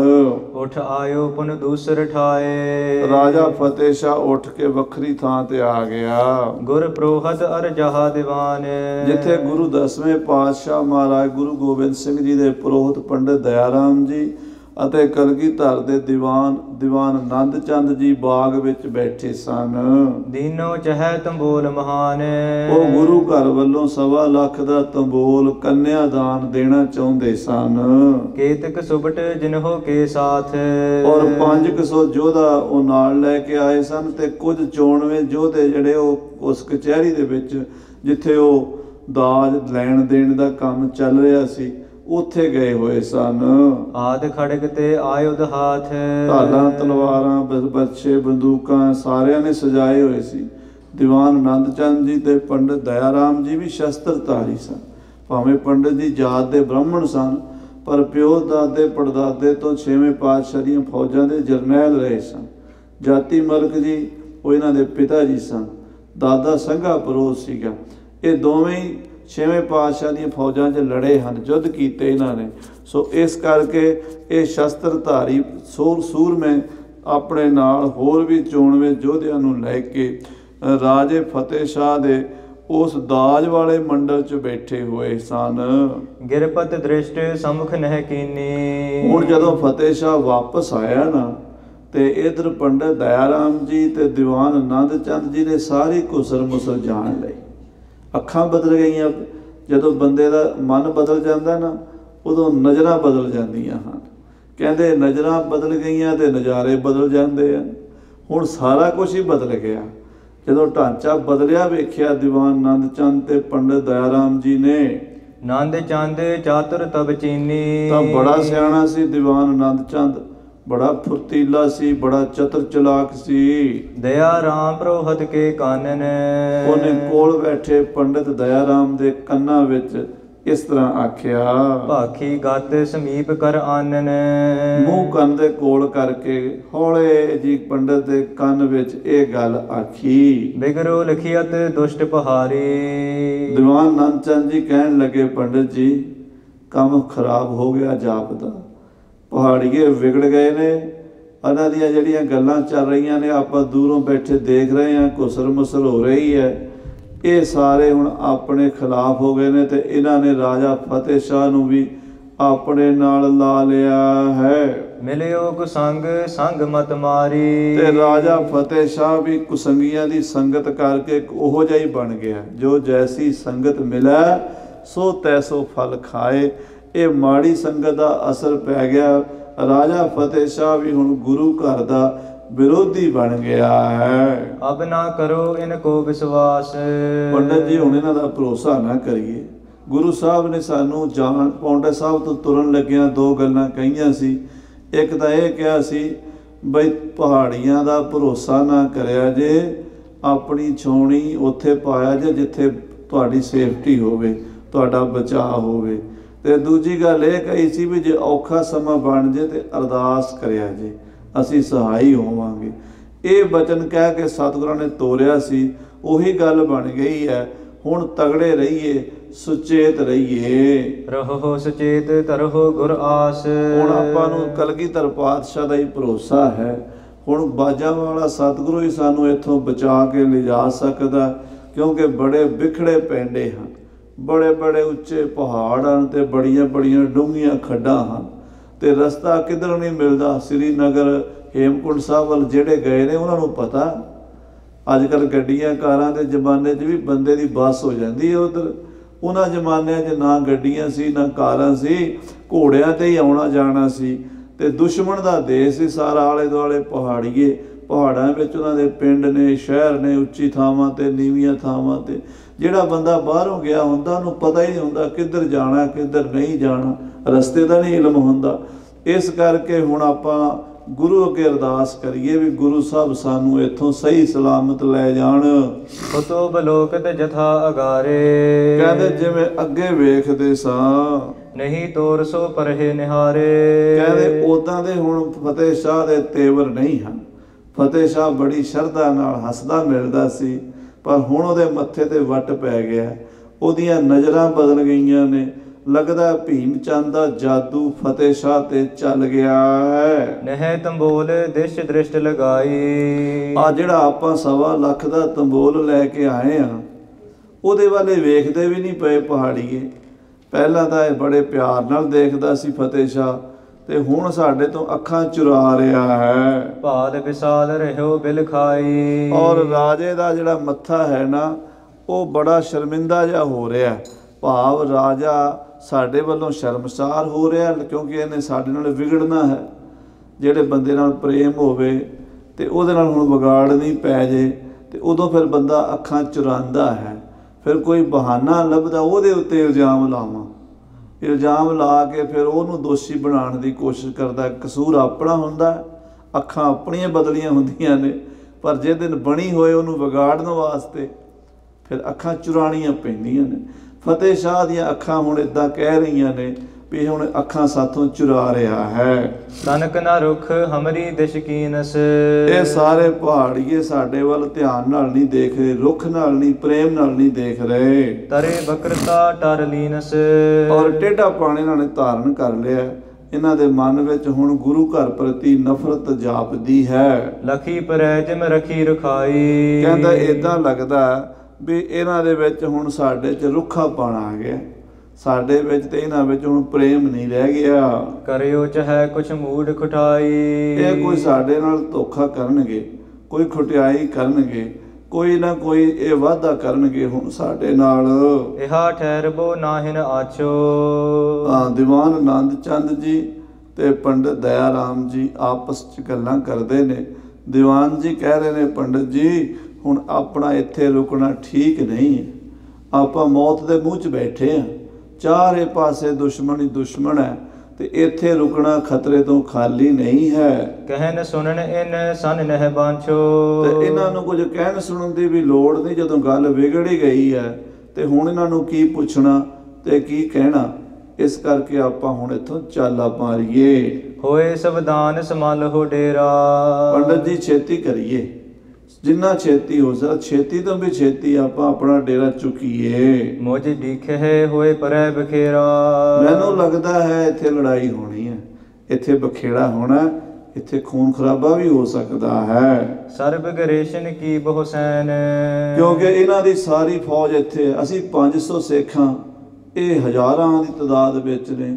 ਇਹਨਾਂ ਦਾ ਤਾਂ ਦੇਸ਼ ਹੈ ਇਹਨਾਂ ਦਾ ਤਾਂ ਇਲਾਕਾ ਹੈ। ਪਹਾੜੀਏ ਲੱਖਾਂ ਦੇ ਹਿਸਾਬ ਨਾਲ ਪਿੰਡਾਂ ਵਿੱਚੋਂ ਨਿਕਲ ਆਉਣਗੇ। ਜੇ ਸਾਡੇ ਤੇ ਇਹਨਾਂ ਨੇ ਹਮਲਾ ਕਰਤਾ ਤੇ ਸਾਨੂੰ ਜਿਉਂਦੇ ਨਹੀਂ ਜਾਣ ਦੇਣਗੇ। ਬਹੁਰ ਦੇਸ਼ ਹਮਰੋ ਇਤ ਹੈਨ ਇਹ ਸਾਡਾ ਦੇਸ਼ ਨਹੀਂ ਸਾਡਾ ਇਲਾਕਾ ਨਹੀਂ ਇਸ ਇਲਾਕੇ ਦੀ ਸਾਡੀ ਕੋਈ ਵਾਕਫ ਵੀ ਨਹੀਂ। ਇਹ ਪਹਾੜੀਆਂ ਦਾ ਦੇਸ਼ ਹੈ ਪਹਾੜੀਆਂ ਦਾ ਇਲਾਕਾ ਹੈ। ਦਇਆ ਰਾਮ ਸੁਨ ਕੈ ਪੁਨ ਬੋਲੋ। ਇਹ ਸੁਣ ਕੇ ਦਇਆ ਰਾਮ ਪੰਡਤ ਜੀ ਬੋਲੇ। ਪਠਿਓ ਗੁਰੂ ਇਨ ਦੇਹੋ ਤੰਬੋਲਾ। ਕਹਿਣ ਲੱਗੇ ਜਿਹੜਾ ਗੁਰੂ ਸਾਹਿਬ ਨੇ ਤੰਬੋਲ ਦਿੱਤਾ ਸੀ ਉਹ ਇਹਨਾਂ ਨੂੰ ਦਈਏ। ਨਿਜ ਤਿਸ ਦੇਨੀ ਕਹੇ ਕਰ ਚਲੀਏ ਆਪਣੇ ਵੱਲੋਂ ਤੇ ਆਪਾਂ ਭਲਾ ਕਰ ਚੱਲੀਏ। ਆਪੇ ਜੇ ਬੁਰਾ ਕਰਨਗੇ ਤਾਂ ਫਲ ਭੋਗਣਗੇ। ਪੁਨ ਗਮਨ ਹੋ ਸਤਿਗੁਰ ਸਨ ਮਿਲੀਏ ਤੇ ਚੱਲ ਕੇ ਆਪਾਂ ਗੁਰੂ ਸਾਹਿਬ ਨੂੰ ਮਿਲਾਂਗੇ ਬੇਨਤੀ ਕਰਾਂਗੇ ਵੀ ਮਹਾਰਾਜ ਅਸੀਂ ਤਾਂ ਆਪਣੇ ਵੱਲੋਂ ਫਰਜ਼ ਪੂਰਾ ਕਰ ਆਏ ਆ ਨਿਉਂਦਾ ਦੇ ਆਏ ਆ। ਪਰ ਪਹਾੜੀਆਂ ਦਾ ਵਿਹਾਰ ਸਾਡੇ ਨਾਲ ਠੀਕ ਨਹੀਂ ਹੋਇਆ। ਪ੍ਰਭ ਸੋ ਬੁਰਾ ਤਕਹੇ ਇਹ ਜੈਸੇ। ਪੰਡਤ ਦਇਆ ਰਾਮ ਜੀ ਕਹਿਣ ਲੱਗੇ ਜਿਵੇਂ ਇਹ ਗੁਰੂ ਘਰ ਨਾਲ ਬੁਰਾ ਤੱਕਣਗੇ। ਫਲ ਸੰਕਟ ਕੋ ਲਹਿ ਸਹਿ ਤੈਸੇ। ਉਹੋ ਹੀ ਫਲ ਪਾਣਗੇ। ਇਤੇ ਦਿਵਸ ਹਮ ਕੋ ਇਨ ਰਾਖਾ। ਇੰਨੇ ਦਿਨ ਇਹਨਾਂ ਨੇ ਸਾਨੂੰ ਰੱਖਿਆ ਇੰਨੇ ਦਿਨ ਤੋਂ ਅਸੀਂ ਇੱਥੇ ਆਏ ਹੋਏ ਆ ਇਹਨਾਂ ਦੇ ਵਿਆਹ ਦਾ ਸਾਰਾ ਕੰਮ ਅਸੀਂ ਨਾਲ ਹੋ ਕੇ ਵੇਖਿਆ ਕਰਾਇਆ ਹੈ। ਅਬ ਮੂਰਖ ਬਿਗੜਨ ਅਬਲਾਖਾ। ਤੇ ਹੁਣ ਇਹਨਾਂ ਮੂਰਖਾਂ ਦੀ ਮੱਤ ਤੇ ਪੜਦਾ ਪੈ ਗਿਆ। ਇਹ ਫਤਿਹ ਸ਼ਾਹ ਵੀ ਕੱਚਾ ਨਿਕਲਿਆ ਜਿਹੜਾ ਇਹਨਾਂ ਆਪਣੇ ਕੁੜਮਾਂ ਦੇ ਆਖੇ ਲੱਗ ਕੇ ਗੁਰੂ ਨਾਲੋਂ ਟੁੱਟ ਚੱਲਿਆ ਹੈ। ਉਪਕਾਰੀ ਸਨ ਬਨ ਅਪਕਾਰੀ। ਭਲਾ ਕਰਨ ਵਾਲੇ ਸਤਿਗੁਰੂ ਪਰਉਪਕਾਰੀ ਗੁਰੂ ਕਲਗੀਧਰ ਪਾਤਸ਼ਾਹ ਦੇ ਨਾਲ ਇਹ ਵੈਰ ਵਿਰੋਧ ਕਰਨ ਲੱਗੇ ਹਨ। ਇਹ ਦੁਸ਼ਮਣੀ ਪਾ ਬੈਠੇ ਹਨ। ਮਤ ਮਾਰੀ ਦਰੋਹੀ ਸੋ ਪਹਾਰੀ। ਇਹਨਾਂ ਗੁਰੂ ਦਰੋਹੀਆਂ ਦੀ ਗੁਰੂ ਦੋਖੀਆਂ ਦੀ ਮੱਤ ਮਾਰੀ ਗਈ ਹੈ। ਵਿਨਾਸ਼ ਕਾਲੇ ਵਿਪਰੀਤ ਬੁੱਧੀ। ਬਾਣੀ ਵਿੱਚ ਸਤਿਗੁਰੂ ਜੀ ਨੇ ਫਰਮਾਇਆ ਜੇ ਕੋ ਆਪ ਖੁਆਏ ਕਰਤਾ ਖੁਸ ਲਏ ਚੰਗਿਆਈ। ਜਦੋਂ ਪ੍ਰਮਾਤਮਾ ਕਿਸੇ ਨੂੰ ਪੁੱਠੇ ਰਾਹ ਪਾਉਂਦਾ ਉਹਦੇ ਕੋਲੋਂ ਚੰਗਿਆਈਆਂ ਖੋ ਲੈਂਦਾ। ਸੋ ਰੱਬ ਨੇ ਇਹਨਾਂ ਦੀਆਂ ਚੰਗਿਆਈਆਂ ਖੋ ਲਈਆਂ ਨੇ ਜਿਹੜੇ ਗੁਰੂ ਨਾਲ ਵੈਰ ਕਰਨਾ ਸੋਚਦੇ ਨੇ। ਨੰਦ ਚੰਦ ਕਹਿ ਪ੍ਰੋਹਤ ਸੁਣੀਏ ਹੈ। ਨੰਦ ਚੰਦ ਪੰਡਤ ਦਇਆ ਰਾਮ ਜੀ ਦੀ ਇਹ ਗੱਲ ਸੁਣ ਕੇ ਬੋਲਿਆ ਕਹਿਣ ਲੱਗਾ ਪੰਡਤ ਜੀ ਹੈ ਤਾਂ ਤੁਸੀਂ ਵੱਡੇ ਤੇ ਸਿਆਣੇ ਹੋ ਪਰ ਮੇਰੀ ਗੱਲ ਮੰਨੋ ਤਾਂ। ਦੇਨ ਇਤੋ ਤਨ ਕੋ ਕੁਨ ਗੁਣੀਏ ਹੈ। ਆਪਾਂ ਇਹਨਾਂ ਨੂੰ ਇੰਨਾ ਮਹਿੰਗਾ ਤੰਬੋਲ ਕਿਉਂ ਦਈਏ? ਸਵਾ ਲੱਖ ਰੁਪਈਆ ਕਿਹੜਾ ਦਰਖਤਾਂ ਨੂੰ ਲੱਗਾ ਹੁੰਦਾ ਜਿਹੜਾ ਝਾੜ ਕੇ ਦੇ ਦੇਣਾ? ਮਹਾਰਾਜ ਇੰਨਾ ਮਹਿੰਗਾ ਤੰਬੋਲ ਉਹਨਾਂ ਨੂੰ ਦਈਦਾ ਜਿਨ੍ਹਾਂ ਨਾਲ ਦੋਸਤੀ ਪਿਆਰ ਭਾਈਚਾਰਾ ਹੋਵੇ ਜਿਨ੍ਹਾਂ ਨੇ ਸਾਡੀ ਜਾਨ ਨਾਲ ਖੇਡਣਾ। ਜਿਹੜੇ ਸਾਡੇ ਜਾਨ ਦੇ ਦੁਸ਼ਮਣ ਨੇ ਜਾਨੀ ਦੁਸ਼ਮਣ ਨੇ ਉਹਨਾਂ ਨੂੰ ਸਵਾ ਲੱਖ ਰੁਪਏ ਦਾ ਲਿਆਉਂਦਾ ਕਾਹਦਾ ਦਈਏ? ਇਹ ਆਪਾਂ ਨਾ ਦਈਏ ਤਾਂ ਠੀਕ ਹੈ। ਇਹ ਨਿਸ਼ਚੈ ਬਿਗਰਹਿ ਮਤ ਮੂਡੇ ਇਹਨਾਂ ਮੂਰਖਾਂ ਨੇ ਤਾਂ ਵਿਗੜਨਾ ਹੀ ਵਿਗੜਨਾ। ਸਾਡੇ ਨਾਲ ਇਹਨਾਂ ਦੇ ਦੋ ਦੋ ਹੱਥ ਹੋਣੇ ਹੀ ਹੋਣੇ ਨੇ। ਅੱਜ ਹੋ ਜੇ ਲੜਾਈ ਕੱਲ ਹੋ ਜੇ ਹੋਣੀ ਤਾਂ ਜ਼ਰੂਰ ਹੈ। ਸਾੜ ਸਤੀ ਇਨ ਸੀਸ ਅਰੁਡੇ ਇਹਨਾਂ ਦੇ ਸਿਰ ਤੇ ਸਾੜ ਸਤੀ ਆਈ ਹੈ ਮਰਨਾ ਇਹਨਾਂ ਨੇ ਹੀ ਹੈ। ਕਰਨੀ ਦਾ ਫਲ ਇਹਨਾਂ ਨੇ ਭੋਗਣਾ। ਇਹਨਾਂ ਦਾ ਸਮਾਂ ਮਾੜਾ ਆ ਗਿਆ ਜਿਹੜੇ ਗੁਰੂ ਕਿਆਂ ਨਾਲ ਮੱਥਾ ਲਾ ਬੈਠੇ ਹਨ। ਲੇਹੋ ਸਭ ਆਪਣੀ ਵਸਤ ਸੰਭਾਰਹਿ। ਇਸ ਕਰਕੇ ਪੰਡਤ ਜੀ ਮੈਂ ਤਾਂ ਤੁਹਾਨੂੰ ਕਹਾਂਗਾ ਵੀ ਆਪਾਂ ਸਮਾਨ ਜਿਹੜਾ ਲੈ ਕੇ ਆਏ ਆ ਵਾਪਸ ਲੈ ਚੱਲੀਏ। ਚੁੱਕੋ ਆਪਣਾ ਸਮਾਨ ਤੇ ਆਪਾਂ ਵਾਪਸ ਪੌਂਟਾ ਸਾਹਿਬ ਨੂੰ ਮੁੜੀਏ। ਚੱਲ ਦੀਜਹਿ ਸਤਿਗੁਰੂ ਅਗਾਰਹਿ। ਆ ਸਵਾ ਲੱਖ ਦਾ ਤੰਬੋਲ ਕਲਗੀਧਰ ਪਾਤਸ਼ਾਹ ਨੂੰ ਜਾ ਕੇ ਭੇਟਾ ਕਰਾਂਗੇ। ਮਹਾਰਾਜ ਆਪਣੀ ਵਸਤੂ ਸੰਭੋ। ਉੱਥੇ ਤੰਬੋਲ ਨਿਉਂਦਾ ਦੇਣ ਦੀ ਗੱਲ ਹੀ ਕੋਈ ਨਹੀਂ। ਉਹਦਾ ਮਹਾਰਾਜ ਸਾਡੀ ਜਾਨ ਦੇ ਦੁਸ਼ਮਣ ਬਣੇ ਨੇ। ਜਿਹੜੇ ਸਾਨੂੰ ਜਾਨ ਤੋਂ ਮਾਰਨਾ ਚਾਹੁੰਦੇ ਨੇ ਉਹਨਾਂ ਨੂੰ ਸਵਾ ਲੱਖ ਰੁਪਈਆ ਕਿਉਂ ਦਈਏ? ਹਾਂਜੀ। ਬਨੇ ਵਿਰੋਧੀ ਕੋ ਕਿਮ ਦੇਨਾ? ਜਿਹੜਾ ਵਿਰੋਧੀ ਬਣ ਗਿਆ ਦੁਸ਼ਮਣ ਹੀ ਬਣ ਗਿਆ ਜਾਨ ਦਾ ਵੈਰੀ ਬਣ ਗਿਆ ਉਹਨੂੰ ਕਿਉਂ ਨਿਉਂਦਾ ਦਈਏ? ਕਿਉਂਕਿ ਨਿਉਂਦੇ ਭਾਜੀ ਤਾਂ ਸੱਜਣਾ ਮਿੱਤਰਾਂ ਨਾਲ ਹੁੰਦੇ ਦੋਸਤਾਂ ਨਾਲ ਹੁੰਦੇ। ਦੁਸ਼ਮਣ ਨੂੰ ਤਾਂ ਕੋਈ ਕੌਡੀ ਵੀ ਨਹੀਂ ਦਿੰਦਾ। ਦੁਸ਼ਮਣ ਨੂੰ ਤਾਂ ਕੋਈ ਘੁੱਟ ਪਾਣੀ ਨਹੀਂ ਪਿਆਉਂਦਾ। ਤੇ ਇਹ ਤਾਂ ਸਾਡੇ ਦੁਸ਼ਮਣ ਸਾਨੂੰ ਜਾਨ ਤੋਂ ਮਾਰਨਾ ਚਾਹੁੰਦੇ ਨੇ। ਇਹਨਾਂ ਨੂੰ ਸਵਾ ਲੱਖ ਰੁਪਈਆ ਦੇਣਾ। ਪੰਡਿਤ ਜੀ ਮੈਨੂੰ ਤਾਂ ਨਹੀਂ ਜੱਚਦੀ ਗੱਲ। ਮੈਂ ਨਹੀਂ ਚਾਹੁੰਦਾ ਵੀ ਆਪਾਂ ਇਹਨਾਂ ਨੂੰ ਸਵਾ ਲੱਖ ਦਾ ਤੰਬੋਲ ਦੇ ਕੇ ਜਾਈਏ। ਮੈਂ ਚਾਹੁੰਦਾ ਵਾਪਸ ਲੈ ਚਲੀਏ। ਨਿਜ ਬਲ ਕਰ ਹਮ ਲੂਟ ਸੋ ਲੈਨਾ। ਕਹਿੰਦੇ ਇਹਨਾਂ ਨੇ ਸਾਨੂੰ ਜ਼ਬਰਦਸਤੀ ਲੁੱਟਣ ਦੀ ਕੋਸ਼ਿਸ਼ ਕਰਨੀ ਹੈ। ਸਾਨੂੰ ਖੋਣ ਦੀ ਕੋਸ਼ਿਸ਼ ਕਰਨੀ ਹੈ। ਬਨਿਓ ਰਹਿਤ ਸੇ ਗੁਰੂ ਕੋ ਦਾਸ।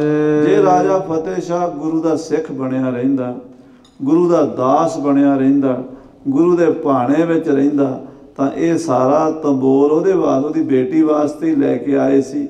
ਅਸੀਂ ਦੇਣ ਵਾਸਤੇ ਹੀ ਲਿਆਏ ਸੀ ਪਰ ਜੇ ਅਗਲਾ ਸਿੱਧੇ ਮੂੰਹ ਨਾਲ ਬੋਲਦਾ ਹੀ ਨਹੀਂ ਤੇ ਸਾਡੀ ਜਾਨ ਲੈਣੀ ਚਾਹੁੰਦਾ ਹੈ ਗੁਰੂ ਨਾਲ ਯੁੱਧ ਕਰਨ ਦੀ ਤਿਆਰੀਆਂ ਕਰ ਰਿਹਾ ਹੈ ਤਾਂ ਫਿਰ ਇਹਨਾਂ ਨੂੰ ਨਿਉਂਦਾ ਕਿਉਂ ਦਈਏ? ਤੋ ਹਮ ਦੇਤ ਵਸਤ ਇਨ ਪਾਸ। ਹਾਂ ਜੇਕਰ ਗੁਰੂ ਸਾਹਿਬ ਦਾ ਪ੍ਰੇਮੀ ਬਣਿਆ ਰਹਿੰਦਾ ਤੇ ਅਸੀਂ ਇਹ ਵਸਤੂਆਂ ਸਾਰੀਆਂ ਇਹਨਾਂ ਨੂੰ ਦਿੰਦੇ। ਪਇਓ ਬਿਰਸ ਅਬ ਲੇਹੋ ਬਟੋਰ। ਹੁਣ ਹੋ ਗਈ ਹੈ ਬੇਰਸੀ। ਹੁਣ ਬੇਰਸੀ ਦੇ ਵਿੱਚ ਇਹ ਨਿਉਂਦਾ ਮੈਂ ਤਾਂ ਨਹੀਂ ਦੇਣਾ ਚਾਹੁੰਦਾ। ਪੰਡਤ ਜੀ ਮੈਂ ਤਾਂ ਤੁਹਾਨੂੰ ਇਹ ਸਲਾਹ ਦੇਣਾ ਵੀ ਆਪਣਾ ਸਮਾਨ ਇਕੱਠਾ ਕਰੋ ਚੁੱਕੋ ਤੇ ਚਲੋ। ਤੂਰਨ ਚਲੋ ਸਿਵਰ ਨਿਜ ਔਰ ਆਓ ਇੱਥੋਂ ਆਪਾਂ ਸਮਾਨ ਚੁੱਕ ਕੇ ਆਪਣੇ ਡੇਰੇ ਚੱਲੀਏ ਤੇ ਡੇਰੇ ਤੋਂ ਕਾਠੀਆਂ ਘੋੜਿਆਂ ਤੇ ਪਾ ਕੇ ਤੇ ਪੌਂਟੇ ਨੂੰ ਚੱਲੀਏ। ਦਇਆ ਰਾਮ ਆਛੈ ਲਗ ਪਾਇਓ। ਕਹਿੰਦੇ ਇਹ ਗੱਲ ਦੀਵਾਨ ਆਨੰਦ ਚੰਦ ਜੀ ਦਾ ਆਸ਼ਾ ਪੰਡਤ ਦਇਆ ਰਾਮ ਜੀ ਵੀ ਸਮਝ ਗਏ। ਉਹਨਾਂ ਨੇ ਵੀ ਵਿਚਾਰ ਲਿਆ ਵੀ ਆਪਾਂ ਨਿਉਂਦਾ ਤੇ ਦੇਣਾ ਸੀ ਫਤਿਹ ਸ਼ਾਹ ਨੂੰ। ਤੇ ਫਤਿਹ ਸ਼ਾਹ ਹੀ ਜੇ ਵਿਗੜ ਗਿਆ ਤੇ ਫਿਰ ਨਿਉਂਦਾ ਕਾਹਦਾ? ਆਨੰਦ ਚੰਦ ਠੀਕ ਕਹਿੰਦਾ ਹੈ। ਸਭ ਤੰਬੋਲ ਇਕਠਾ ਕਰਵਾਇਓ। ਪੰਡਤ ਜੀ ਨੇ ਆਪਣੇ ਨੌਕਰਾਂ ਨੂੰ ਹੁਕਮ ਦਿੱਤਾ ਜਿਹੜੇ ਸਿੱਖ ਪੌਂਟਾ ਸਾਹਿਬ ਤੋਂ ਨਾਲ ਆਏ ਸੀ। ਉਹਨਾਂ ਨੇ ਫਟਾਫਟ ਸਾਰਾ ਸਮਾਨ ਇਕੱਠਾ ਕਰ ਲਿਆ। ਤਤ ਚਿਨ ਹੋਏ ਸਵਦਾਨ ਵਿਸਾਲੇ। ਉਸੇ ਵੇਲੇ ਸਾਵਧਾਨ ਹੋ ਕੇ ਤਿਆਰ ਬਰ ਤਿਆਰ ਹੋ ਕੇ ਵਸਤ ਸੰਭਾਰਨ ਗਨ ਹੋਏ ਚਾਲੇ। ਤੇ ਸਾਰੀਆਂ ਚੀਜ਼ਾਂ ਸੰਭਾਲ ਕੇ ਤੁਰ ਪਏ। ਤੋਮਰ ਤੁਪਕ ਤਬਰ ਤਰਵਾਰ। ਬਰਛੇ ਬੰਦੂਕਾਂ ਤਬਰਾਂ ਤਲਵਾਰਾਂ ਖੰਡੇ ਤਿਆਰ ਕਰ ਲਏ। ਵੀ ਕੋਈ ਪਤਾ ਨਹੀਂ ਕਿਹੜੇ ਵੇਲੇ ਇੱਥੇ ਲੜਾਈ ਹੋ ਜਾਵੇ। ਹੋਏ ਸੁਚੇਤ ਹਾਥਨ ਮਹਤਾਰ। ਸਾਰਿਆਂ ਨੇ ਆਪਣੀਆਂ ਆਪਣੀਆਂ ਬੰਦੂਕਾਂ ਸਾਫ਼ ਕਰ ਲਈਆਂ ਤੇ ਭਰ ਲਈਆਂ। ਤੀਰ ਕਮਾਨ ਤਿਆਰ ਕਰ ਲਏ ਢਾਲਾਂ ਤਲਵਾਰਾਂ ਜਿੰਨੇ ਵੀ ਸ਼ਸਤਰ ਸੀ ਕਾਇਮ ਕਰ ਲਏ। ਸੁਚੇਤ ਹੋ ਗਏ ਵੀ ਇੱਥੇ ਜੰਗ ਦਾ ਮਾਹੌਲ ਹੈ ਤੇ ਤਿਆਰ ਬਰ ਤਿਆਰ ਹੋ ਕੇ ਹੋਏ ਇਕੱਤਰ ਡੇਰੇ ਚਲ ਆਏ। ਸਾਰੇ ਦੀਵਾਨ ਆਨੰਦ ਚੰਦ ਤੇ ਪੰਡਿਤ ਦਇਆ ਰਾਮ ਦੇ ਨਾਲ ਨਾਲ ਇਹ ਜਿੰਨੇ ਵੀ ਗਏ ਸਨ ਸੂਰਮੇ ਡੇਰੇ 'ਚ ਇਕੱਠੇ ਹੋ ਗਏ। ਤਤ ਚਿਨ ਜੀਨ ਤੁਰੰਗਮ ਪਾਏ। ਔਰ ਨਾਲ ਹੀ ਉਸੇ ਵੇਲੇ ਹੀ ਘੋੜਿਆਂ ਦੇ ਕਾਠੀਆਂ ਪਾ ਲਈਆਂ ਫਟਾਫਟ ਘੋੜੇ ਕੱਸ ਲਏ। ਤਿਆਰੀ ਕਰੀ ਅਰੂਡਨ ਹੇਤ। ਔਰ ਪੌਂਟਾ ਸਾਹਿਬ ਜਾਣ ਦੇ ਲਈ ਤਿਆਰੀਆਂ ਕਰ ਲਈਆਂ। ਹੋਏ ਸੁਚੇਤ ਬਹੁ ਸ਼ੀਗਰ ਸਮੇਤ। ਔਰ ਬੜੀ ਸੁਚੇਤਾ ਦੇ ਨਾਲ ਛੇਤੀ ਦੇ ਨਾਲ। ਦੋਨੋਂ ਸਮਦੀ ਮਿਲ ਜਬ ਥਿਰੇ। ਜਦੋਂ ਦੋਵੇਂ ਕੁੜਮ ਇਕੱਠੇ ਹੋ ਕੇ ਉਧਰ ਫਤਿਹ ਸ਼ਾਹ ਤੇ ਭੀਮ ਚੰਦ ਬੈਠੇ ਬੋਲਨ ਮਿਲਨ ਪ੍ਰੇਮ ਤੇ ਪਰੇ। ਕਿਉਂਕਿ ਕੁੜਮਾਂ ਦਾ ਨਵਾਂ ਨਵਾਂ ਪ੍ਰੇਮ ਸੀਗਾ। ਜਦੋਂ ਵਿਆਹ ਸ਼ਾਦੀ ਹੁੰਦੀ ਨਾ ਕੁੜਮ ਬਹੁਤੇ ਜ਼ਿਆਦਾ ਨੇੜੇ ਹੋ ਕੇ ਬਹਿੰਦੇ ਆ ਇਕੱਠੇ ਹੀ ਖਾਂਦੇ ਪੀਂਦੇ ਆ। ਭੀਮ ਚੰਦ ਤੇ ਫਤਿਹ ਸ਼ਾਹ ਆਪਸ ਵਿੱਚ ਬੜੇ ਪ੍ਰੇਮ ਨਾਲ ਗੱਲਾਂ ਕਰਦੇ ਨੇ। ਤਾਏ ਨਰਨ ਸੁਧ ਤਬਹਿ ਸੁਨਾਈ ਇਹ ਬੈਠੇ ਸੀ ਅਜੇ। ਦੋਵੇਂ ਭੀਮ ਚੰਦ ਤੇ ਫਤਿਹ ਸ਼ਾਹ ਗੱਲਾਂ ਕਰ ਰਹੇ ਸੀ ਗੁਰੂ ਨਾਲ ਜੰਗ ਕਰਨ ਦੀਆਂ। ਕਿਸੇ ਬੰਦੇ ਨੇ ਆ ਕੇ ਖਬਰ ਦਿੱਤੀ ਇਹਨਾਂ ਨੂੰ ਗੁਰ ਦੀਵਾਨ ਤਿਆਰੀ ਕਰਵਾਈ। ਕਿ ਮਹਾਰਾਜਾ ਸਾਹਿਬ ਗੁਰੂ ਗੋਬਿੰਦ ਸਿੰਘ ਦਾ ਦੀਵਾਨ ਆਨੰਦ ਚੰਦ ਤਾਂ ਆਪਣੀ ਫੌਜ ਲੈ ਕੇ ਤੇ ਸਵਾ ਲੱਖ ਦਾ ਜਿਹੜਾ ਤੰਬੋਲ ਦੇਣ ਆਇਆ ਸੀ ਉਹ ਵਾਪਸ ਲੈ ਚੱਲਿਆ ਹੈ। ਜੇਤਕ ਵਸਤ ਦੇਨ ਹਿਤ ਆਨੀ। ਜਿੰਨਾ ਗੁਰੂ ਸਮਾਨ ਭੇਜਿਆ ਸੀ ਗੁਰੂ ਗੋਬਿੰਦ ਸਿੰਘ ਨੇ ਸਾਨੂੰ ਦੇਣ ਵਾਸਤੇ। ਸਭ ਲੈ ਚਲਿਓ ਹਿਰਦੇ ਰਿਸ ਠਾਨੀ। ਉਹ ਸਾਰਾ ਉਹਨਾਂ ਦਾ ਦੀਵਾਨ ਵਾਪਸ ਲੈ ਚੱਲਿਆ। ਉਹ ਵੀ ਗੁੱਸੇ ਵਿੱਚ ਲੱਗਦੇ ਨੇ। ਸਾਰੇ 500 ਦੇ 500 ਸਿੱਖ ਵਾਪਸ ਚੱਲੇ ਨੇ। ਭੀਮ ਚੰਦ ਕੈ ਛੋਬ ਵਿਸਾਲ। ਜਦੋਂ ਇਹ ਗੱਲ ਤਾਂ ਰਾਜਾ ਫਤਿਹ ਸ਼ਾਹ ਨੂੰ ਦੱਸੀ ਉਹਦੇ ਨੌਕਰਾਂ ਨੇ ਸੁਣ ਕੇ ਕੋਲ ਬੈਠਾ ਭੀਮ ਚੰਦ ਬੜਾ ਲਾਲ ਪੀਲਾ ਹੋਇਆ। ਕਰਤ ਛੀਗਰਤਾ ਕਹਿ ਤਿਸ ਕਾਲ। ਬੜੀ ਛੇਤੀ ਨਾਲ ਗੁੱਸੇ ਵਿੱਚ ਬੋਲਿਆ। ਤੂਰਨ ਪਠੋ ਸੁਬਟ ਗਨ ਗਾਡੇ ਕਹਿਣ ਲੱਗਾ ਫਟਾਫਟ ਫੌਜ ਭੇਜੋ। ਜਿਹੜੇ ਰਸਤੇ ਤੋਂ ਇਹਨਾਂ ਸਿੱਖਾਂ ਨੇ ਲੰਘਣਾ ਉਹ ਰਸਤਾ ਰੋਕ ਦਿਓ ਤੇ ਸਾਰਿਆਂ ਨੂੰ ਮਾਰ ਦਿਓ। ਘਾਟਾ ਰੋਕ ਲਿਓ ਡਿਡ ਠਾਂਡੇ। ਆ ਘਾਟਾ ਰੋਕ ਲਓ। ਘਾਟਾ ਹੁੰਦਾ ਹੈ ਪਹਾੜਾਂ ਦੇ ਵਿੱਚ ਨਦੀਆਂ ਦੇ ਕੰਢੇ ਜਦੋਂ ਹੇਮਕੁੰਟ ਸਾਹਿਬ ਪਰ ਜਿਨ੍ਹਾਂ ਨੇ ਦਰਸ਼ਨ ਕੀਤੇ ਉਹਨਾਂ ਨੂੰ ਪਤਾ। ਜਿੱਥੇ ਥੋੜੀ ਜੀ ਥਾਂ ਹੋ ਜਾਂਦੀ ਉੱਪਰ ਪਹਾੜ ਹੁੰਦਾ ਥੱਲੇ ਖੱਡ ਹੁੰਦੀ ਹੈ। ਤੇ ਇੰਨੀ ਕੁ ਥਾਂ ਹੁੰਦੀ ਹੈ ਮਸੀਂ ਇੱਕ ਦੋ ਬੰਦੇ ਲੰਘ ਸਕਦੇ ਨੇ। ਤੇ ਉਹਨੂੰ ਘਾਟ ਕਹਿੰਦੇ ਨੇ। ਉਹ ਘਾਟ ਰੋਕ ਲਵੋ। ਵੀ ਜਿੱਥੋਂ ਲੰਘਣਾ ਇਹਨਾਂ ਨੇ ਘੋੜਿਆਂ ਨੇ ਉੱਤੋਂ ਬੰਦੂਕਾਂ ਦੇ ਨਾਲ ਸਿੱਧੀ ਫਾਇਰਿੰਗ ਕਰੀ ਚੱਲੋ। ਗੋਲੀਆਂ ਮਾਰ-ਮਾਰ ਕੇ 500 ਦੇ 500 ਸਿੱਖ ਨਦੀ ਗੰਗਾ 'ਚ ਰੋੜ ਦਿਓ। ਨਹਿ ਨਿਕਸਨ ਪਾਵੇ ਲਿਓ ਘੇਰੇ। ਇਹ ਸਾਰੇ ਸਿੱਖ ਪੌਂਟੇ ਨਹੀਂ ਜਾਣੇ ਚਾਹੀਦੇ। ਨਾ ਇਹਨਾਂ ਦਾ ਕੋਈ ਜਰਨੈਲ ਜਾਣਾ ਚਾਹੀਦਾ ਤੇ ਨਾ ਕੋਈ ਸਿਪਾਹੀ ਜਾਣਾ ਚਾਹੀਦਾ। ਸਾਰੇ ਸਿੱਖ ਮਾਰ ਦਿਓ ਗੁਰੂ ਦੇ। 500 ਦੇ 5 ਸਿੱਖਾਂ 500 ਸਿੱਖਾਂ ਨੂੰ ਮਾਰ ਕੇ ਉਹਨਾਂ ਦੇ ਘੋੜੇ ਖੋਲੋ ਹਥਿਆਰ ਖੋਲੋ ਹਤ ਹੋ ਤੁਪਕ ਜਬ ਪਹੁੰਚੈ ਨੇਰੇ। ਜਦੋਂ ਨੇੜੇ ਜਾਣਗੇ ਤੇ ਬਸ ਮਾਰ ਥੱਲੇ ਆਉਣ ਦਿਓ ਤੇ ਉੱਤੋਂ ਉੱਚੇ ਪਹਾੜੀਆਂ ਤੋਂ ਫਾਇਰਿੰਗ ਖੋਲ ਦਿਓ। ਕਿਉਂਕਿ ਉੱਪਰੋਂ ਗੋਲੀ ਆਉਂਦੀ ਨਾ ਥੱਲੇ ਵਾਲੇ ਬੰਦੇ ਨੂੰ ਬਚਾਉਣਾ ਬੜਾ ਮੁਸ਼ਕਲ ਹੁੰਦਾ। ਤੇ ਉਹ ਪਹਾੜ ਦੇ ਜਿਹੜੇ ਲੋਕ ਸਨ ਨਾ, ਉਹ ਪਹਾੜਾਂ ਦੇ ਬੜੇ ਭੇਤੀ ਸਨ। ਤਾਂ ਕਹਿਣ ਲੱਗੇ ਵੀ ਤੁਸੀਂ ਉੱਚੀ ਥਾਂ ਤੇ ਜਿੱਥੋਂ ਘਾਟਾ ਹੈ ਥੋੜੀ ਜੀ ਥਾਂ ਇਹਨਾਂ ਨੇ ਉਧਰੋਂ ਹੀ ਲੰਘਣਾ ਹੋਰ ਤਾਂ ਇਹਨਾਂ ਨੂੰ ਰਸਤਾ ਕੋਈ ਨਹੀਂ। ਜਿਹੜੇ ਰਸਤੇ ਤੋਂ ਸਿੱਖਾਂ ਨੇ ਲੰਘਣਾ ਉਹ ਰਸਤਾ ਰੋਕ ਕੇ ਸਾਰੇ ਸਿੱਖ ਮਾਰ ਦਿਓ। ਇਤਨ ਤੇ ਸਭ ਰਾਜਨ ਕੀ ਸੈਨਾ। ਇਧਰੋਂ ਸਾਧ ਸੰਗਤ ਜੀ ਸਾਰੇ ਜਿੰਨੇ ਵੀ ਰਾਜਿਆਂ ਦੀ ਫੌਜ ਹੈ। ਚੜ੍ਹੇ ਤਰਨ ਆਯੁਧ ਗਨ ਪੈਨਾ। ਭੀਮ ਚੰਦ ਕਹਿੰਦਾ ਸ਼ਸਤਰ ਲੈ ਕੇ ਹਮ ਪਿੱਛੋਂ ਵੀ ਹਮਲਾ ਕਰ ਦਿਓ ਤੇ ਅੱਗੋਂ ਵੀ ਰੋਕ ਲਓ। ਜੇ ਸਿੱਖ ਪਿਛਾਂ ਮੁੜਨਗੇ ਤੇ ਪਿੱਛੋਂ ਮਾਰ ਦਿਓ ਅੱਗੇ ਜਾਣ ਤੇ ਅੱਗੇ ਗੋਲੀਆਂ ਨਾਲ ਮਾਰ ਦਿਓ। ਇੱਕ ਵੀ ਸਿੱਖ ਜਿਉਂਦਾ ਪੌਂਟਾ ਸਾਹਿਬ ਨਾ ਚਲਾ ਜਾਵੇ। ਸੋ ਤਰੰਗ ਜੋ ਲਿਆਏ ਸੁਦਾਗਰ।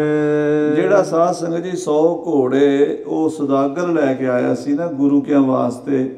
500 ਘੋੜੇ ਤਾਂ ਸਿੱਖਾਂ ਦੇ ਪਹਿਲਾਂ ਹੀ ਸਨ। 100 ਘੋੜਾ ਅਰਦਾਸੇ ਹੋਇਆ ਸੀਗਾ। ਉਹ ਕਸ਼ਮੀਰ ਵੱਲੋਂ ਇੱਕ ਸੁਦਾਗਰ ਕਲਗੀਧਰ ਪਾਤਸ਼ਾਹ ਦੇ ਲਈ ਚੰਗੇ ਚੰਗੇ ਚੰਗੀ ਨਸਲ ਦੇ ਘੋੜੇ ਖਰੀਦ ਕੇ ਲਿਆਇਆ ਸੀ ਵੀ ਮੈਂ ਗੁਰੂ ਦੀ ਫੌਜ ਨੂੰ ਭੇਟਾ ਕਰਾਂਗਾ। ਉਹ ਘੋੜੇ ਵੀ ਨਾਲ ਹਨ। ਚਪਲ ਬਲੀ ਗੁਣ ਬ੍ਰਿੰਦ ਉਜਾਗਰ। ਬੜੇ ਬਲੀ ਤੇ ਬੜੇ ਸੋਹਣੇ ਘੋੜੇ ਹਨ ਗੁਣਾ ਵਾਲੇ ਘੋੜੇ ਹਨ। ਸਗਰੇ ਛੀਨ ਲਿਓ ਕਰ ਤਰ ਤਰ। ਰਾਜਾ ਭੀਮ ਚੰਦ ਕਹਿੰਦਾ ਸਾਰੇ ਘੋੜੇ ਵੀ ਖੋਲੋ 500 600 ਘੋੜਾ ਸਿੱਖਾਂ ਦਾ ਖੋਲੋ ਸ਼ਸਤਰ ਸਾਰੇ ਸਿੱਖਾਂ ਦੇ ਖੋਲੋ ਸ਼ਸਤਰ ਕਸੁੱਟ ਹੋ ਦੀਨਸ ਕਰ ਕਰ। ਕਹਿੰਦੇ ਢਾਲਾਂ ਤਲਵਾਰਾਂ ਬਰਛੇ ਬੰਦੂਕਾਂ ਜੋ ਵੀ ਹਥਿਆਰ ਇਹਨਾਂ ਦੇ ਕੋਲ ਹੈ ਜੋ ਵੀ ਘੋੜਾ ਇਹਨਾਂ ਦੇ ਕੋਲ ਹੈ, ਜਿੰਨਾ ਪੈਸਾ ਟਕਾ ਇਹਨਾਂ ਦੇ ਕੋਲ ਹੈ, ਸਵਾ ਲੱਖ ਦਾ ਜਿਹੜਾ ਤਬੋਲ ਇਹਨਾਂ ਦੇ ਕੋਲ ਹੈ ਉਹ ਸਾਰਾ ਖੋਹ ਲਵੋ ਇਹਨਾਂ ਕੋਲੋਂ। ਪੁਨ ਕਾਟੇ ਤੇ ਵਹਿਰ ਨਿਕਸ ਹੋ। ਤੇ ਫਿਰ ਇਹਨਾਂ ਕੋਲੋਂ ਖੋਹ ਕੇ ਇਹਨਾਂ ਨੂੰ ਕੱਪੜੇ ਲਾ ਕੇ ਇਦਾਂ ਹੀ ਭੇਜ ਦਿਓ ਜਾਂ ਮਾਰ ਦਿਓ। ਹੋਏ ਸਨਮੁਖ ਹੱਥ ਸ਼ਸਤਰ ਵਿਨਾਸ਼ ਹੋ। ਜੇ ਕੋਈ ਮੁਕਾਬਲਾ ਕਰੇ ਤੇ ਉਹਨੂੰ ਮਾਰ ਕੇ ਗੰਗਾ 'ਚ ਰੋੜ ਦਿਓ। ਵਸਤੂ ਜਾਣੇ ਦੇਹੋ ਨਾ ਕੋਈ। ਰਾਜਾ ਭੀਮ ਚੰਦ ਕਹਿੰਦਾ ਸਿੱਖਾਂ ਦਾ ਕੋਈ ਸਮਾਨ ਜਾਣਾ ਨਹੀਂ ਚਾਹੀਦਾ। ਕੋਈ ਵਸਤੂ ਜਾਣ ਨਾ ਦਿਓ। ਕੋਈ ਸਮਾਨ ਇਹਨਾਂ ਦਾ ਇਹ ਜਿਹੜੇ ਲੈ ਕੇ ਆਏ ਨੇ ਆਪਾਂ ਇਹਨਾਂ ਦੀ ਸੂਈ ਵੀ ਨਹੀਂ ਜਾਣ ਦੇਣੀ। ਨਗਨ ਸੀਸ ਕਰ ਭੇਜੋ ਸੋਈ। ਕਹਿੰਦੇ ਇਹਨਾਂ ਦੀਆਂ ਪੱਗਾਂ ਵੀ ਲਾ ਲਓ ਇਹਨਾਂ ਨੂੰ ਕੱਪੜੇ ਵੀ ਲਾ ਲਓ ਇਹਨਾਂ ਦੀ ਜੁੱਤੀਆਂ ਤੱਕ ਵੀ ਨੰਗੇ ਪੈਰੀ ਭਜਾਓ ਸਿੱਖਾਂ ਨੂੰ ਪੌਂਡੇ ਤੱਕ ਜਾਣ। ਤਾਂ ਕਿ ਇਹਨਾਂ ਨੂੰ ਪਤਾ ਲੱਗ ਜਾਏ ਵੀ ਰਾਜੇ ਭੀਮ ਚੰਦ ਨਾਲ ਮੱਥਾ ਲਾਣ ਦਾ ਨਤੀਜਾ ਕੀ ਹੁੰਦਾ ਹੈ। ਫਤਿਹ ਸ਼ਾਹ ਸਮਦੀ ਤੇ ਸੁਨ ਕਰ।